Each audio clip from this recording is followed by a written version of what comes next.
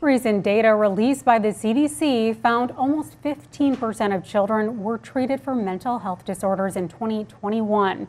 As mental health affects more teens, one organization is hoping to teach educators and child care providers how to help.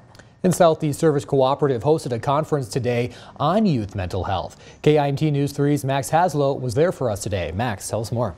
Well, Justin Tyler, there were dozens of teachers, public health workers, and childcare professionals from across southeast Minnesota there, and all of them spent hours learning everything they could to better support the kids in their care. The conference focused on showing attendees how to recognize signs and symptoms of mental health issues like anxiety, depression, and ADHD.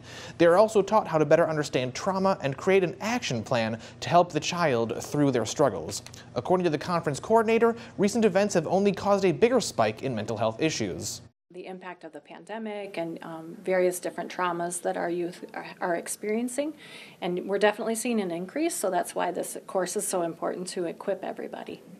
I also had the chance to speak with some of the people at the seminar. They tell me they're taking the advice to heart and they think the information could benefit all educators. All right, thank you, Max. The event coordinator says one of the best ways to see if someone is struggling with mental health is to look for warning signs. Yeah, also if you notice any long-lasting negative changes in a child's thoughts or behavior, experts say don't be afraid to reach out for help.